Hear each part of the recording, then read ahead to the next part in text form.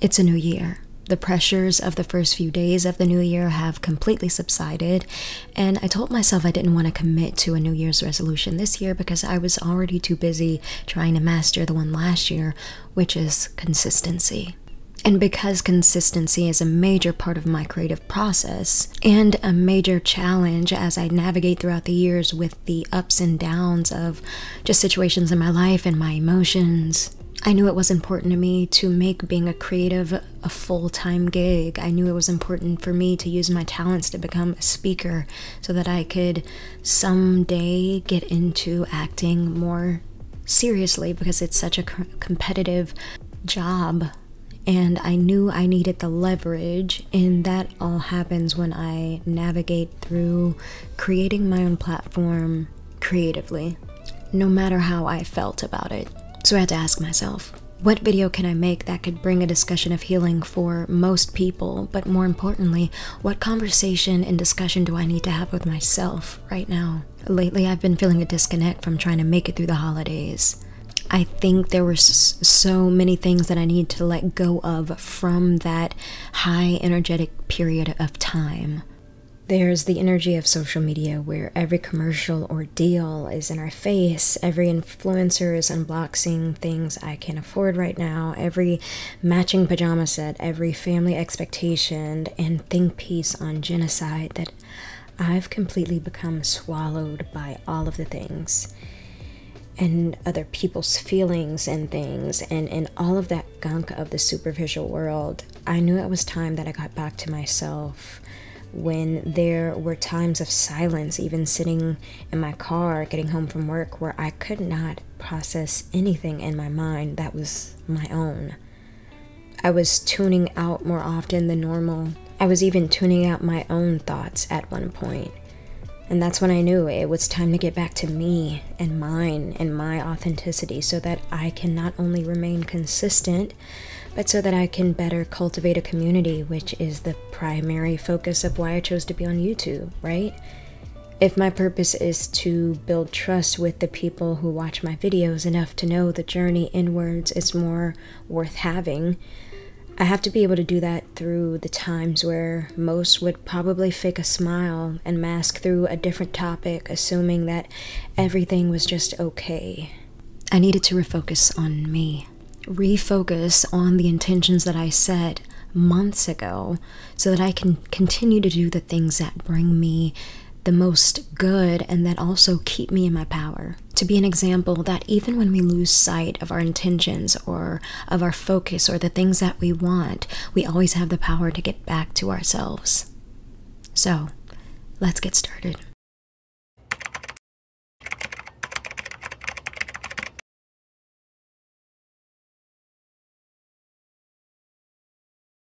I honestly needed to retract energy from my job and refocus that energy on what is more energetically aligned with the future that I wanted to have.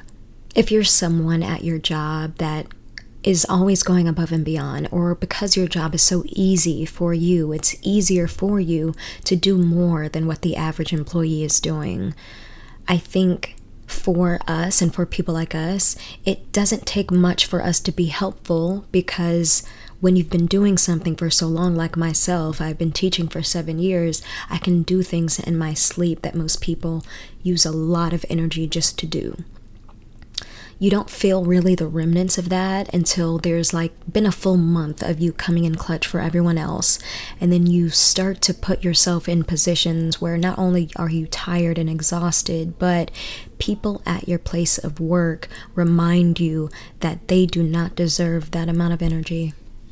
And when that happens, you, one, are disappointed, and two, you just are filled with so much resentment and you're jaded about um, just being a genuinely good person. And I think that's the most important conversation that needs to be had. I used to think, well, if I was a good person, maybe they would give me the acknowledgement and maybe uh, the assets to be able to do this more and easier and with dignity because I was doing a lot. But that was just me looking for a source of validation and gratification from work where that's not my place. And it's also no one's place to give me a prize every time I sign up to do something that, to be fair, someone else could have done. I didn't need to exert myself. I didn't need to overextend myself in situations just because I could.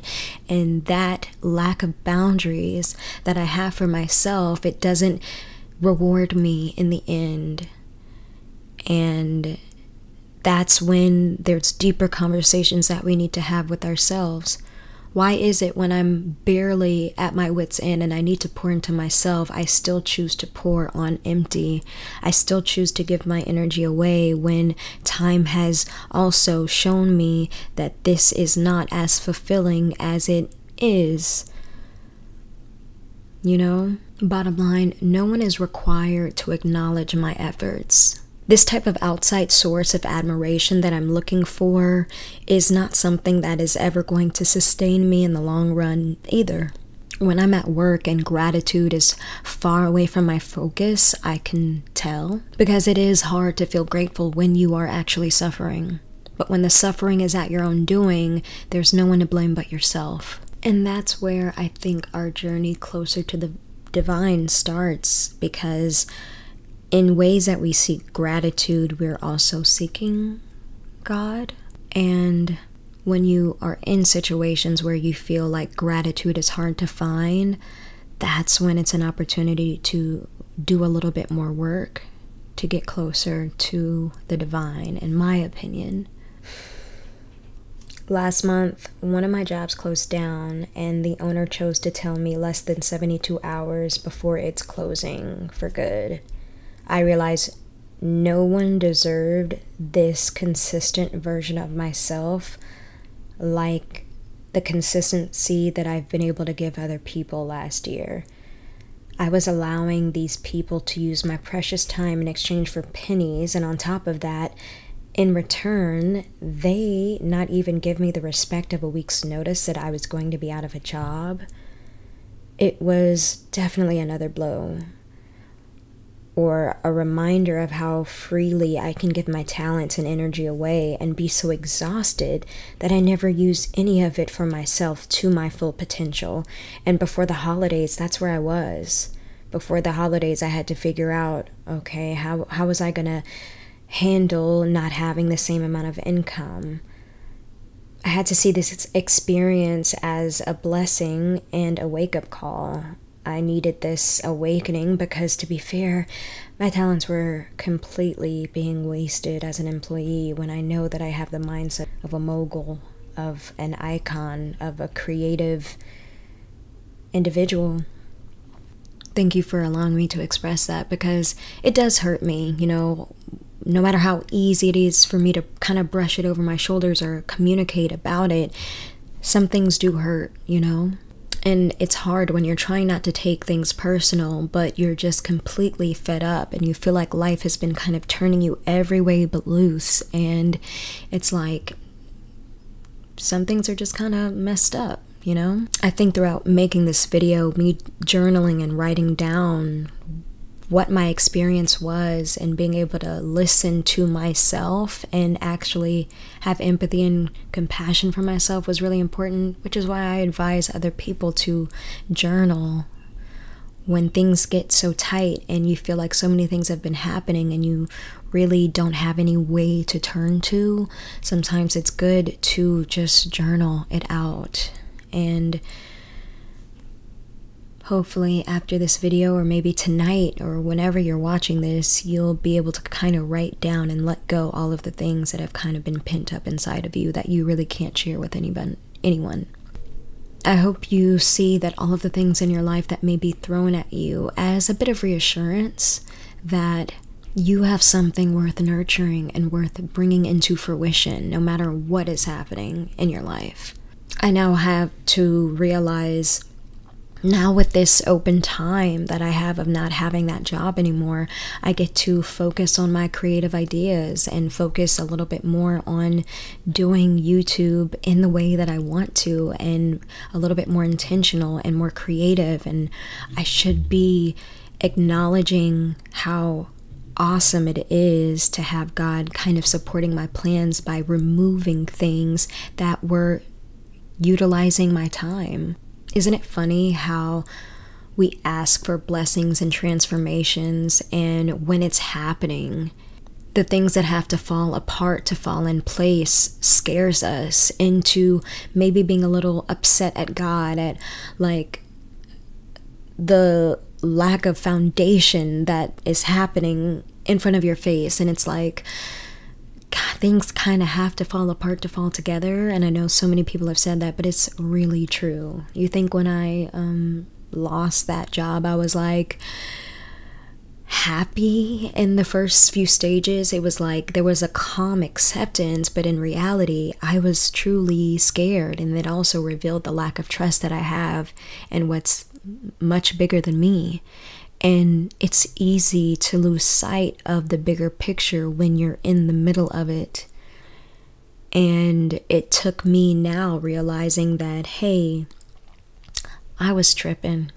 I was tripping I should be looking forward to the future that I'm going to have with this free time and trust that I will be provided for and not have to overextend myself at the other jobs that I have because I need to focus on this and making this my priority. And I can't do that if I'm pushed into the fear and driving so hard at the job that has already revealed to not be my place anyway. And if you're in a place of transition closer to your dreams and not to your maybe nine to five, I hope that this video gives you a little bit of courage to just like, no, go full head first into what that is. And if there have been things to let you acknowledge and see that this is not the place for you, take that as a gift to give you the confidence that you need to go full fledged into what that thing is for you because you wouldn't have the support of this higher power if it wasn't, you know? I think another thing was me bringing unwanted and unnecessary energy into my relationship. I was putting a magnifying glass to my relationship and acknowledging everything that was not perfect, everything that was not what I thought a relationship should feel like. And sometimes when you're walking blind and you're trying to get things that you've never seen or that you've never had an example of, you can talk yourself into sabotage. And I think that's a part of what I was doing. I think it's just time to move in alignment with with what brings me back to peace and love and relationship in service in YouTube in even at my job sometimes like if it doesn't feel fun, I don't want to have it. I don't want to do it anymore. And sometimes we force expectations on things that are not meant to to be to have. And when i was younger i used to walk into every relationship as if like okay this one guy could potentially be my husband. I want to make sure that i'm present and i want to make sure that i am you know doing things the right way because i wanted to keep this thing naive. I was because not every man that comes into my life is going to be my husband and not every man deserves to have those expectations. And I shouldn't just completely dish out those expectations on people that are not supposed to like it would be a disservice to your future to put the same expectations on someone that is not it on your future husband. Like show some respect for your future like, I had to realize that no matter how much I tried to mold something into what I needed it to be for me, I had to accept a, its form for what it actually is and was. And sometimes when you are very hard headed and when you are very adamant on change and you believe in your power as a person, as a woman, as a human to make things right, you have to realize that you are just human and some things some some things are not meant to change not with you. And that's the acceptance. That's real love. That's real just gratitude and appreciation for what you already have and the people that you meet and the experiences that you're having. And like I said, when you are in the midst of it, it doesn't feel right. I think for a lot of relationships that I've had, it was like, if you're not going to do this for me, then you don't need to be for me. Like, yeah, that's outside looking in. It's like, okay, yeah, of course a woman is supposed to say that. But what about the things that are a part of you that a lot of people are not able to accept either. You know, and when you see yourself as others see you, not as like this great and grandiose thing, as much as you are, you're great, but you're not perfect, like I had to accept. There's still so many things about myself that are hard to accept, period.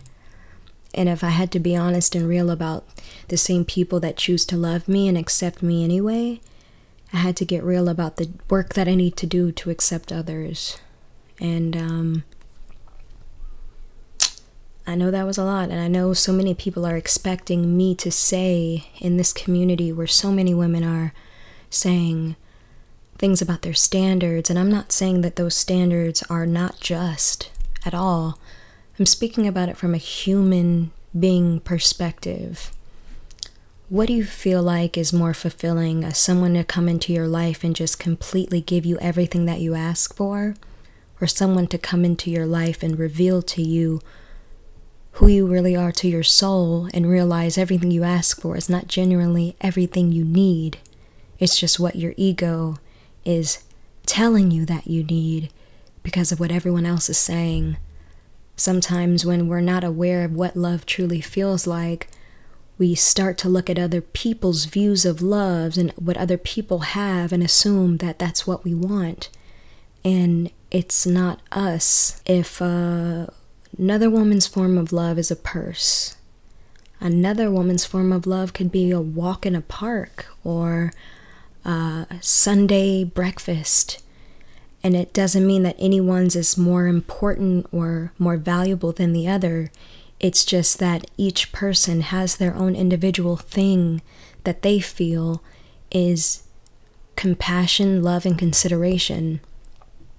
And instead of looking at the outside or materialistic things that exemplify love to you, even if gifts are your love language, if that's a thing, how do you like to be considered? I was watching a video of a woman that expressed I knew that my lover was outside of the love that he had for me because he stopped preparing my coffee in the morning. It used to be something that he always loved to do and I it was my love language. I never asked him to do it, but he considered me so much that he wanted to make my mornings easier. I knew that we were at a disconnect when he just stopped considering me anymore. And that, I think that fine line of just acknowledgement and, ob- and observation is like that's the real type of world that I exist in as far as like companionship, I guess. And I think when you are in a place where you're focusing on so many other things, or there's so many other things at your fingertips to watch of what their love is, um, it's hard for you to appreciate the love that you actually have in your life and it makes others people feel like nothing that they do for you is ever enough and you never want to be that person outside of a relationship that realizes maybe months later like damn i just didn't appreciate what i had and i know that there's a lot of women that think back on a situation where they lost someone really important to them and they knew that they mishandled someone that was just doing the best that they could. So to save someone, because that's just real, to save someone from that type of pain, because that's very hurtful for you to feel, to finally wake up to who you are or who you were in that relationship. Um, I hope what I'm saying is, in a way, to reach someone that's just really genuine love. I'm not saying this because I'm I'm on anyone's side. I'm saying it because more women should hear it, more people should hear it, and it's just real. I'm not going to give you the same tips and feedback that other women do. And I think that's what's so refreshing about it, what's so honest and real about it. And um yeah. You know what? I think January 1st comes along and people automatically feel a sense of lack that they aren't doing enough, they aren't working hard enough, leaving so many things behind. And deep down, we secretly knew every day of the last year what we should have been doing. And that's what fascinates me is I wonder what is the event that has to happen for you to kick over and just do everything that you said you would on any given day? And for the people that do the intentional work all year, we already know what we're doing. We are intentional every month, not just one month out of the year when everyone else is doing it. And for all of the babes that have intentional lives of radical acceptance and growth, just pat yourself on the back for keeping your eyes on the prize at all times. I know abundance is headed your way this year, and if the last year you did the work to know what exactly you wanted, this is the year that you maintain that and more and I'm extremely proud of you. Also, I I think refocusing is just trying again, trying again, getting up again, knowing that no matter how many times you've sat down or for how long you've took a pause, you have the power to give it up again. And maybe you sitting down and taking a breath wasn't something to make you look bad or make you feel less than, but to give you that refreshed energy for all of the things that are to come.